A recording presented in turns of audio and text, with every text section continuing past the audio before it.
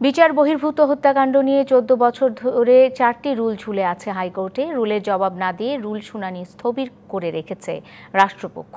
Crossfire নিয়ে আলোচিত police কর্মকর্তা প্রদীপ দাসের বিরুদ্ধেও একটি রিট শুনানি তিন বছর ধরে ঝুলে আছে।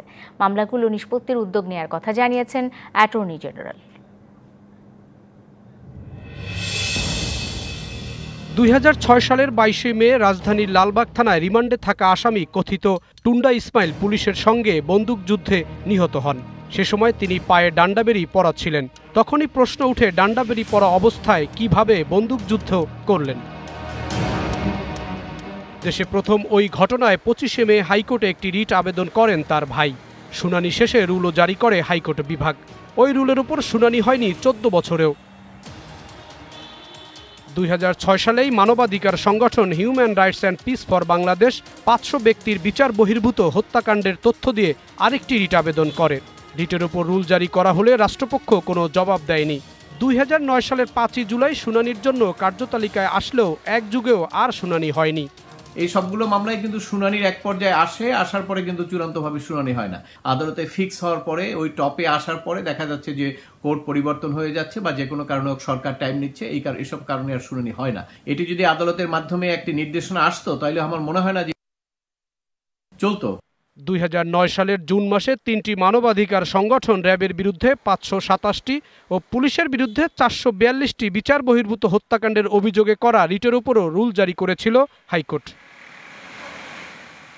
দুই হাজার নয় সালে মাদারীপুর সদর উপজেলা লুৎফর খালাসি ও খায়রুল খালাসি নামে দুইজন র্যাবের সঙ্গে কথিত বন্দুকযুদ্ধে নিহত হওয়ার ঘটনায় স্বপ্রণোদিত হয়ে রুল জারি করেছিল হাইকোর্ট। দুই হাজার নয় সালের চোদ্দই ডিসেম্বর ওই রুলের শুনানির শুরুর দিনে অ্যাটর্নি জেনারেল সময় চেয়ে বলেছিলেন, তিনি ক্রসফায়ার বন্ধের জন্য অনুরোধ জানাবেন।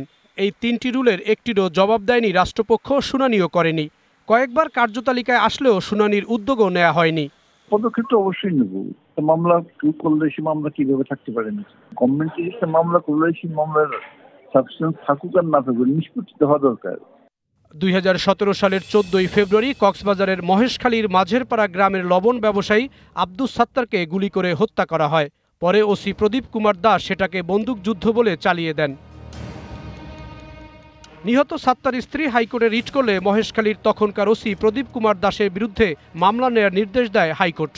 আব্দুল সাত্তারকে বাসা থেকে ডেকে নিয়ে ওসি প্রদীপ নিজে গুলি করে হত্যা রিট পিটিশনে স্ত্রীর অভিযোগটিকে এফআইআর হিসেবে গ্রহণ করার জন্য নির্দেশনা প্রদান করে। পরবর্তীতে পুলিশ কর্তৃপক্ষ থেকে আপিল বিভাগে ডিরেকশনটি স্টে চেয়ে আপিল দায়ের করা হয়। চেম্বার জজ আদালত সেই হাইকোর্টে ডিরেকশনটি স্টে আদেশ প্রদান কয়েকটি মানবাধিকার সংগঠনের হিসেব মতে দেশে এখন পর্যন্ত আড়াই হাজারের বেশি বিচার বহির্ভূত হত্যাকাণ্ড হয়েছে। চলতি বছরের সাত মাসে দুইশো জন বন্দুকযুদ্ধে নিহত হয়েছেন। Sahid Hasan, DBC news, Dhaka.